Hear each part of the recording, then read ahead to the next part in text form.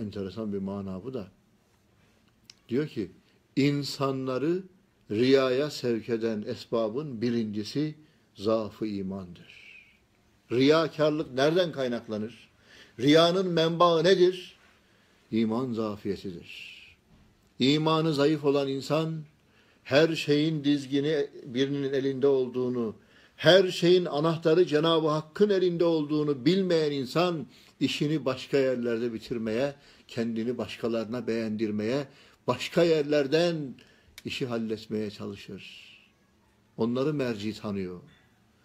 Onlarda iş bitecek zannediyor. O yüzden ona buna kendini beğendirmeye, ona buna kendini satmaya çalışıyor. Halbuki değil mi? Sultanın sarayında sultandan başka kimsenin hükmü geçmez.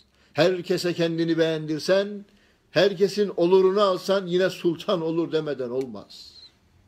O yüzden herkesi herkesin ayağını öpmek yerine bir sultana itaat et.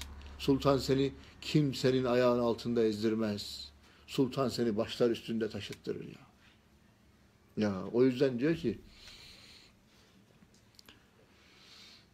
Allah'a kulluktan sakınanlar, çekinenler, korkanlar, kaçanlar, kabul etmeyenler aslında bütün mahlukata kulluk ediyorlar, farkında değiller. Her şeyin sahibine kulluk etmeyen, her şeye kulluk etmek zorunda.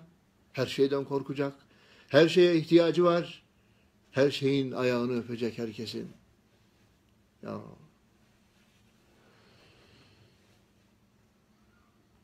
Bir tane kardeş vardı da unutmuyorum. Bir çay ocağında çalıştı. Bu çocuğun da anne babası yok. Çay ocağında çalıştırmışlar çocuğu. Çalıştırmış, çalıştırmış. Son gün parasını verecek ya. Bir bahaneyle çocuğu atmış işten. Git demiş. Kaybol git. Para da vermiyor. Zalim. İnsan zalim oldu mu? Hiç düşünmez. Öksüzmüş, yetimmiş, parasızmış, pulmuz, pulsuzmuş. Çocukta nasıl tevekkül var ya? Çay ocağının sahibine diyor ki seni diyor sahibine şikayet edeceğim diyor. O da anlayamamış önce. Demiş ya sahibi benim demiş. Kime şikayet edecek beni? Gayet rahat. Daha demiş versen de almam. Seni demiş sahibine şikayet edeceğim. Anlayamamış tabii. Adam sonradan jeton bir düşüyor. Adam birden bir anlıyor diyor ki Allah Allah bunun kimsesi yok ki. Kime şikayet edecek beni? Olsa olsa diyor beş vakit namaza gittiği Allah'ına şikayet eder.